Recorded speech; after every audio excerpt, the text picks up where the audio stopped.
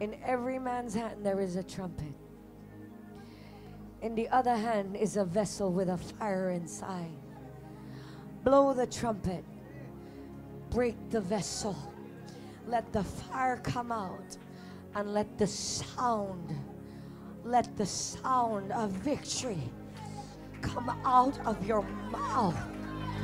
Come out of your mouth. That is your sound.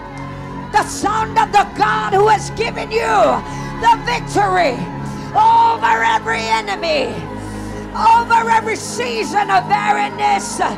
Oh!